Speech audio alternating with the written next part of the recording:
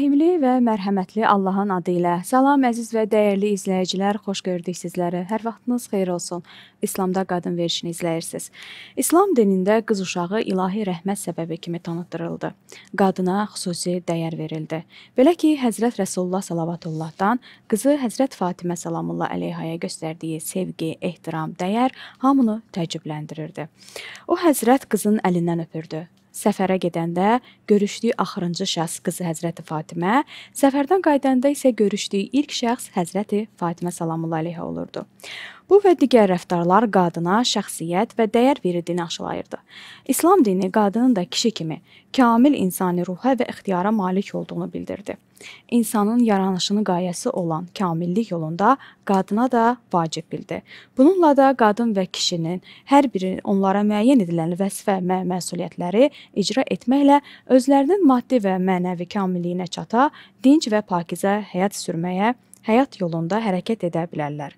Yaxşı əməl yerinə yetirən hər bir kişi və qadının əgər Allaha imanı olarsa, ona gözəl və saadətli bir həyat bəxş edərik. Yerinə yetirdiyi əməldən çox-çox yaxşı mükafat verərik. Bəli, əziz izləyicilərimiz, ötən verilişimizdə biz İslamda ailə təməlləri və qadının ailədə rolu haqqında danışdıq. İnşallah isə bu gün yeni bir mövzuyla sizinlə birlikdə olacağıq. Studiyamızın qonağı dəyərli ilahiyyatçı Fərdə xanım Abbasovadır. Xoş gəlmisiniz Fəridə xanım. Salamlayıram sizi də. Bismillahirrahmanirrahim. Mən də sizi və əziz tamaşaçılarımızı salamlayıram. Bir daha xoş gördük hər birinizi. Çox sağ olun Fəridə xanım. İnşallah bu gün danışaq ə, e, İslamda nümunəvi qadınlar haqqında. Buyurun. İnşallah. E, İslamda nümunəvi qadınlar e, barəsində danışarkən e, peyğəmbərimizin hədisi ilə başlamaq istəyirəm ki, Rəsul-i Əkrəm buyurmuşdur ki, behiştin üstün xanımları 4 nəfərdirlər. Həzrət Məryəm, bilirsiniz ki, İsa Məsih əleyhissalamın Bəli. anasıdır. Xanım Asiya e, Fironun həyat yoldaşıdır. Bəli. Həzrət Xədicə e, anamız ki, bilirsiniz, Həzrət Rəsulullahın həyat yoldaşıdır və Həzrət xanım Fatimə Zəhra salamullah əleyhadır ki, hər iki dünya xanımlarının xanımıdır. E, və Qurani Kərimdə bu xanımlar barədə ayələr də nazil olmuşdur ki, e, hətta xanım Məryəmin adına surə belə Bəli. kamil şəkildə surə nazil olmuşdur. E, Həzrət Xədicə barədə istəyərdim ki, ilk nümunəvi xanım anamız olan Həzrəti Bəli. Xədicə barədə bugünkü verilişimizdə danışaq ki, Həzrəti Xədicə bilirsiniz ki, əziz peyğəmbərimizin həyat yoldaşıdır və e, xanımlar xanımı Həzrət xanım Fatimə Zəhranın əziz anasıdır ki, e, xanım Xədicə hicrətdən əvvəl 68-ci ildə Məkkədə dünyaya gəlmişdir. Atasının adı Xuveylid ibn Əsəd, anasının adı isə Fatimə bindi Zaidət olmuşdur. E, Həzrəti Xədicə e, peyğəmbərimizlə 24 il ailə həyatı qurmuşdur. Peyğəmbərimizdən əvvəl və e, bilirsiniz ki, tarixən də bilirlər ki, xanım Xədicə e, Rəsulullahdan yaşca böyük olmuşdur. Ümumiyyətlə xanım Xədicənin e, həyatının bir qismi peyğəmbərimizdən əvvəlki dövrə aid edilir. Həyatının ikinci qismi isə peyğəmbərimizlə birlikdə yaşadığı 24 ilə aid olunur. Xanım Xədicə ərəblər arasında çox nüfuza malik olan bir xanım idi və ilk e, tacir xanım idi. Yəni ərəblər arasında olan ilk ticarətlə məşğul olan tacir xanımlardan biri idir ki, və maddi imkanı da çox gözəl olan bir xanım idi. Və e, ticarətlə məşğul olduğuna görə karvanları var idi. Bu işlə məşğul idi və ərəblərdə belə bir xüsusiyyət var idi ki, ərəblər ümumiyyətcə dinimizdə də elədir. Ailə qurmaq istəyən zaman xanımlar yox, bəylər elçi düşərlər. Yəni bəy tərəfi elçi düşər xanımlara. Xanım Xədicə o zamanlar hələ onda peyğəmbərimiz Beysətə yetməmişdi. Yəni ki, peyğəmbərliyə hələ ki yetişməmişdi.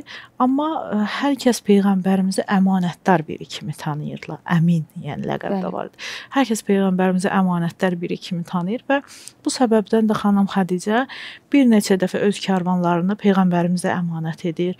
Yəni e, ticarət məqsədi ilə tacirlik etməsi üçün peyğəmbərimizə karvanlarını əmanət edir, peyğəmbərimiz götürür, gətirir və bir gün peyğəmbərimiz ilə e, xanım Xədicə arasında bir söhbət baş tutur ki, elə bayaqki sözümün də canı bu idi ki, yəni e, əksinə olaraq xanım Xədicə peyğəmbərimizə özü elçi düşmüşdür.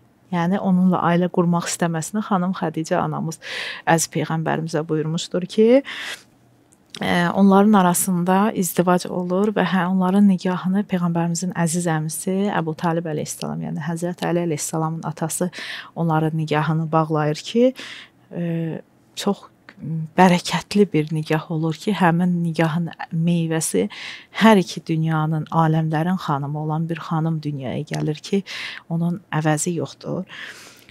Dediyim kimi, e, xanım Xədicə e, elə bir məqama e, malik olan bir xanım idi ki, peyğəmbərimizdən əvvəlki dövründə belə heç zaman öz o məqamı ki var idi, nüfuzu ki var idi cəmiyyət arasında, ondan heç vaxt istifadə etməzdi.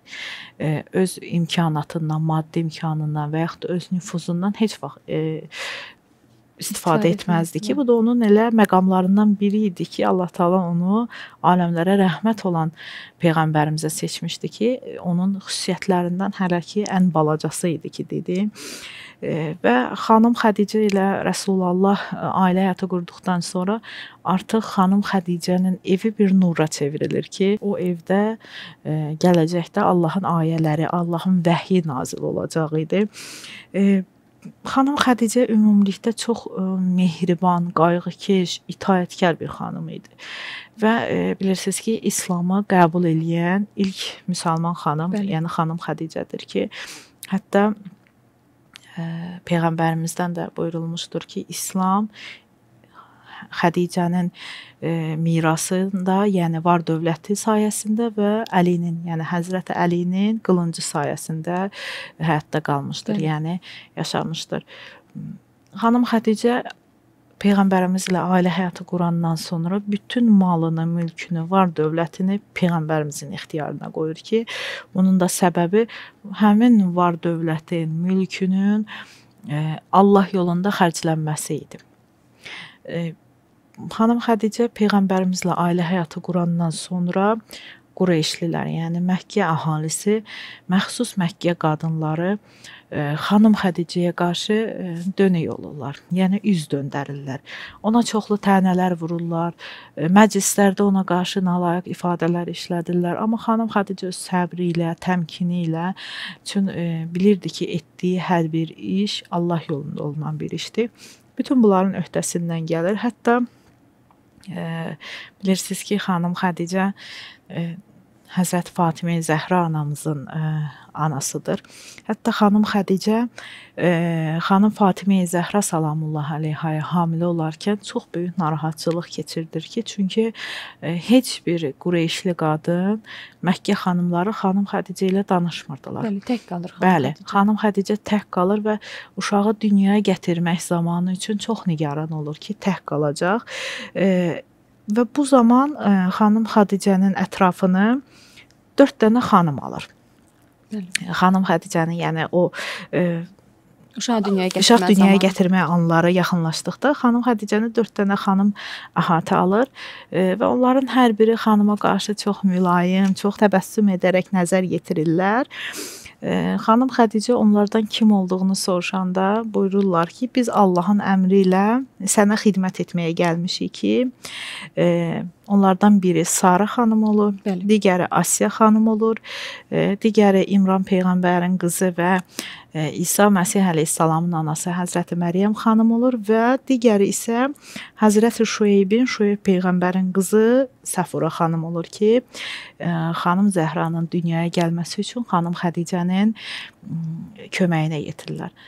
Bunun özü belə Allah Taala tərəfindən xanım Xədicəyə verilmiş bir məqam idi ki, Allah Taala ən gözəl, ən üstün seçilmiş peyğəmbər övladlarını, peyğəmbər xanımlarını, peyğəmbər qızlarını e, xanımın belə deyə xidmətində verir. Xanıma xidmətçi olaraq göndərir ki, onun çətinliklərini asanlaşdırsın. E, və Həzrət xanım e, xanım Xədicə ə, dediyim kimi bütün var dövlətini İslam yolunda xərcləmişdir və bundan əslən heç vaxt ə, məyus olmamışdı. O qədər qayğıkeş, e, o qədər mehriban bir həyat yoldaşı idi ki, Peyğəmbər sallallahu xanım Xədicənin hətta ə, vəfatından sonra xanım Xədicə barədə nəinki danışmaq, hətta düşündükdə belə öz göz yaşlarını saxlaya bilməzdir ki, ə, buyurulub ki, xanım Xədicə olmasaydı, Peyğəmbər sallallahu layiq bir həyat yoldaşı olmazdır. Ə, və xanım Xədicənin ən üstün belə deyək, məqamlarından biri də xanım Zəhranın anası olmasıdır. Bilirsiniz ki, mən o rəvayətə girmirəm. İnşallah xanım Zəhranın haqqında danışanda danışıram. Xanım Fatimə Zəhranın dünyaya gəlməsi, e, necə olub, Cəbrail əleyhissalam necə gəlib, peyğəmbərimizə nələr buyurmuşdu, xanım Zəhraya nələr buyurmuşdu. E, bunların hamısı barədə inşallah barədə danışacağıq. Əsas xanım e, Xədicənin məqamı Həzrət xanım Fatimə Zəhra ilə müqayisə etsək belə kifayətdir ki, kimin anasıdır. Bunu düşündükdə belə xanım Xədicənin məqamını biz dərk edə bilərik ki, bir gün Cəbrail əleyhissalam vəh gətirən zaman belə buyurur: "Ya Rəsulallah, ey peyğəmbər, Allahın salamını Xədicəyə çatdır." Yəni Allahın vəh mələyi Allahın salamını həmin xanıma yəni, Allah yetirir. Salam. Bəli, Allah Taala'nın məxsus salamını həmin xanıma yetirir. Peyğəmbər bu salamı Həzrəti Xədicəyə çatdıranda xanım cavabında belə buyurur: Allahın özü salamdır. Allah özü salamdır. Salamın başlanğıcıdır. Eşq olsun Allaha və eşq olsun salam gətirən vəh mələyi Cəbrail əleyhissalama. Görün xanım Xədicənin məqamı nə qədər böyükdür Allah Taala yanındakı Allah Taala birbaşa öz vəh mələyi vasitəsilə ona salam yetirir dediyim kimi xanım Xədicə e, çox məşəqqətlərlə üzləşmişdi. İslamı qəbul etdikdən sonra bilirsiniz ki, əvvəl 3 e, il İslam gizli şəkildə e, təbliğ olunmuşdur. Allah Taala'dan əmr gəldikdən sonra 3 ildən 3 ildən sonra peyğəmbərimiz artıq onu açıq şəkildə İslam dinini yaymağa başladıqda təzyiqlər daha çox artır və bu həmin təzyiqlərin də e, bir belə deyək, bir tərəfi xanım Xədicəyə də toxunurdu. Bəli, bəli, onun ticarətində, onun yaşayışında, onun məişətində çox təsir qoyurdu və məxsusən dediyim kimi Qureyşli xanımlar tərəfindən çox tənələri alırdı. Çox ə, sıxıntılar yaşayırdı xanım Xədicə ki, öz səbri ilə, öz dəyanəti ilə, öz izzəti ilə xanım onların hamısını dəf eləməyə bacardı. E, xanım Xədicə e, öz evini belə peyğəmbərimizin ixtiyarında qoymuşdur ki, peyğəmbər sallallahu öz mübarək qədəmləri ilə xanımın evini nurlandırır. Xanım düşünün ki, xanım Xədicənin evi vəhy evinə çevrilir. Hətta vəh nazil olduqda belə əksər hallarda Peyğəmbər sallallahu yanında xanımlardan xanım Xədicə olur və bəylərdən isə Həzrət Əli əleyhissalam həmişə xan, ə, e, peyğəmbərimizin yanında vəh zamanı olur ki, hətta xanım Xədicə ə, e, vəh gələrkən peyğəmbərimizin ə, e, nə halda olduğunu belə gözləri ilə görür. Ə, çox böyük məqama sahib olan bir xanımdır. Xanım Xədicənin e, bir çox ləqəbləri vardır ki, onlardan bəziləri bunlardır: qadınların sərvəri, Tahirə, Kubra. Bunlar xanım Xədicənin ləqəbləridir ki, el arasında da mərufdur. Bəli, Xədicə Kübra daha Bəli, çox Bəli, daha çox Xədicə Kubra bəli. kimi və yaxud da qadınların sərvəri də daha çox ə, bizə gəlib çıxmışdır ki, Həzrət xanım Xədicə elə bir qız övladının anasıdır ki, ə, Hər iki dünya xanımlarının xanımıdır. Hər iki xanım barəsində insan danışdıqca çətinlik çəkir ki, onları e, belə deyək, məth eləməyə, Necə? tərif eləməyə həqiqətən kəlmələri bəzən insan e, tapa bilmir ki, hansı dərsdə mən həmin xanımın məqamını yitirə bildim ki, onun şəninə uyğun olsun. Üzr səfərdə ham qısa bir fasiləmiz var. İnşallah, İnşallah. davam edərik.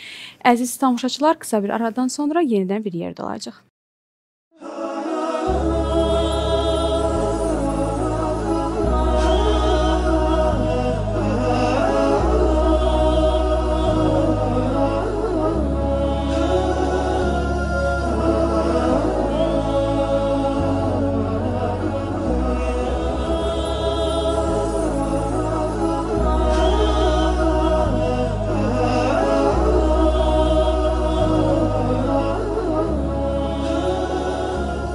Salamlayıram sizləri. Əziz tamaşaçılar, bizə qoşulan yeni izləyicilərimizi də salamlayırıq. Xoş gördük. İslamda qadın verişini izləyirsiniz və qonağımız İlahiyyatçı Fərdə xanımla nümunəvi qadınlar haqqında danışırıq və ən başlıca nümunəvi qadın Həzrəti Xədicə Kübra xanımdan.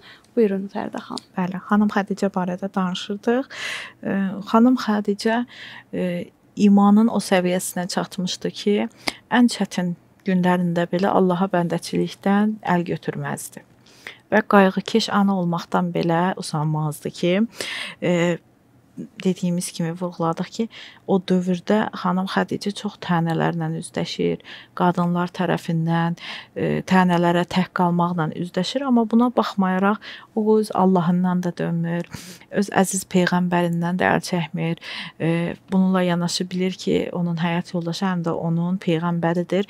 Həm həyat yoldaşı vəzifələrində, həm e, peyğəmbərinə itaətdə çox itaətkar bir xanım olmuşdur ki, e, xanım Xədicənin xüsusiyyətlərinə sadalayanda onun daha çox mülayim, çox qayğıkeş, çox kövrək bir xanım olduğu qeyd olunur. Düzdür, xanım Xədicənin barəsində e, bir çox digər rəvayətlər də vardır. Peyğəmbərimizdən əvvəlki olan dövründə ailəli olması barədə və yaxud da olmaması barədə mən onlara toxunmaq istəmirəm. E, tarixi bir məsələlərdir.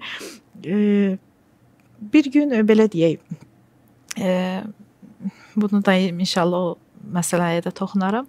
E, xanım Xədicə e, belə deyək, e, o qədər e, həssas bir xanım idi ki, öz yaşadıklarına rağmen heç vaxt peyğəmbərimizdən əl çəkməzdi.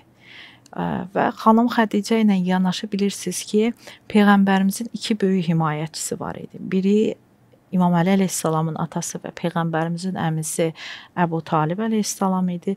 Digər ən böyük dayağı, himayəçisi isə e, Həzrət xanım Xədicə idi. Və e, hər ikisinə də peyğəmbərimizin çox böyük bir e, sevgisi var idi. Hər ikisinə qarşı çox böyük bir bağlılığı var idi ki, e, tarixçilər yazır ki, həm peyğəmbərimizin əmisi Əbu Talib, həm xanımı Həzrət xanım Xədicə sallallahu əleyhə eyni ildə dünyadan köçürlər. Bəli. Və həmin ildə peyğəmbərimiz o qədər kədərlənir, o qədər qəm-qüssəyə e, qərq olur ki, həmin ili Amul Huzn, yəni hüzün bəli, ilə adlandırırlar ki, çün yəni o ili hətta belə peyğəmbərin üzü gülmür. Bəli.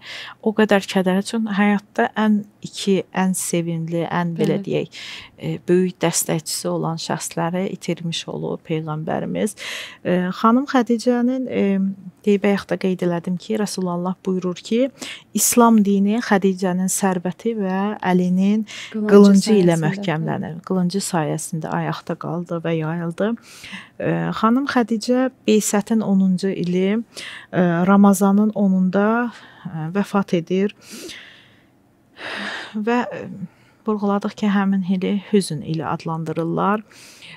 Peyğəmbər sallallahu o xanımın məqamı barədə dəfələrlə söz açmışdı, hədislərdə də gəlmişdi. Hətta elə xanımın ən üstün 4 xanım olması barədə olması belə o xanımın məqamından bir işarədir ki, dünyanın ən üstün 4 xanımı. Saydıq ki, Asiya xanım, xanım Xədicə, xan Həzrət Məryəm, Həzrət Məryəm və xanım Fatimə Zəhradır və xanım Xədicə həmin 4 üstün xanımdandır və peyğəmbərimiz çox yerdə, çox hədislərdə xanım e, Xədicənin məqamına çox diqqət yetirmişdir ki, e, peyğəmbər sallallahu ilk dəfə meyraca gedəndə xanım Xədicənin evindən meyraca getmişdir. Bu da xanımın məqamına bir işarədir ki, Allah Taala onu seçmişdir. Yəni aləmlərə rəhmət olan peyğəmbər o xanımın evindən. Yəni onun evi, onun ocağı o, o qədər nurani, bərəkətli, Allah istəyən bir ev idi ki, aləmlərə rəhmət olan peyğəmbər həmin məkandan Allahın meracına gedir. Yəni görün necə böyük bir məqamdır.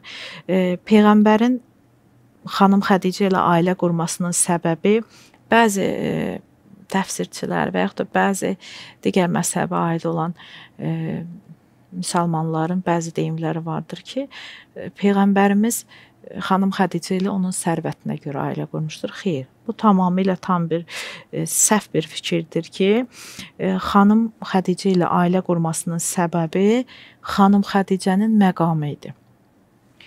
e, Yəni xanım Xədicə olmasaydı, həmin zamanda peyğəmbərin ailə qurmasına, peyğəmbərə layiq olan bir xanım yox idi. Xanım Xədicədən qeyrisi ki, e, Həzrət Rəsulullah həmin xanım ilə ailə həyatı qursun. Və e, dediyim kimi xanım Xədicə olmasaydı, ikinci bir xanım yox idi ki, peyğəmbərimiz onunla ailə qursun və xanım Xədicə bizlərə nümunəvi bir qadındır. Bəli. Bəzən e, düşünürük ki, e, qadınları nümunə verə bilmərik. Amma e, Həzrət Məryəm barəsində Allah Taala və xanım Asiya barəsində Allah Taala Qurani-Kərimdə danışanda hətta onları təkcə xanımlar üçün yox, kişilər evet, üçün belə nümunə e, gətirir. Yəni onların Allah qarşısında olan ibadət itaətləri, bəndəçilikləri, çətinliklər qarşısındakı səbirləri, dözümlülüklərini Allah Taala bir neçə yerdə ayələrdə təkcə qadınlar üçün demir, mömin kişilər və mömin qadınlar Bəli. üçün nümunə olaraq gətirir. Yəni bizlər əgər həyatımızı məxsus biz xanımlar üçün verilişimiz xanımlar barəsindədir. Biz xanımlar həyatımızı gözəl istiqamətləndirmək istəyiriksə, gərək hər kəsin bir e, meyarı olsun, istiqaməti olsun. E, belə deyək, müasir dildə desək, bir idealı olsun.